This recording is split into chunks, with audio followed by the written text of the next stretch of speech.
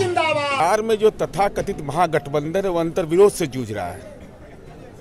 चूँकि 2019 के लोकसभा चुनाव में राष्ट्रीय जनता दल ज़ीरो बटा सन्नाटा पर हो गया।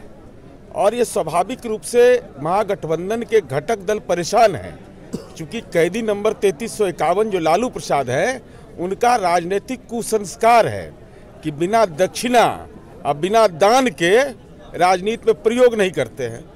तो महागठबंधन के घटक दल परेशान हैं कि भाई लालू जी तो बिना दान के मुस्कुराते नहीं बिना दक्षिणा के मुस्कुराते नहीं तो कौन पूंजी लगाएगा?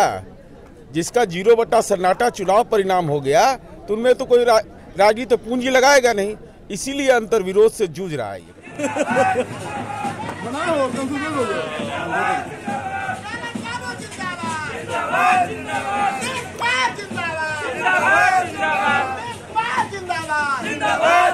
पड़ रहा है कि हम एकजुट हैं। तो इसका मतलब है कि कहीं ना कहीं दरार है तभी ना कह रहे हैं कि एकजुट हैं। इस सफ़ाई देने का क्या ज़रूरत है?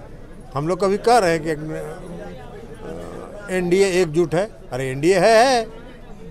तो इसलिए कहीं ना कहीं आपस में तो उस सब का खैर कोई दुकान नहीं है।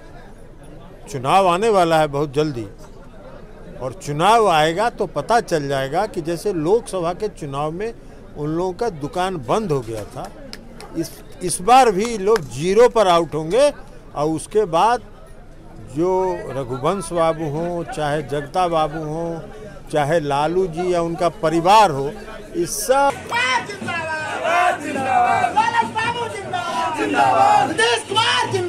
बिहार और झारखंड की तमाम खबरों के लिए हमारे YouTube चैनल को सब्सक्राइब करें और बेल आइकन दबाना ना भूलें।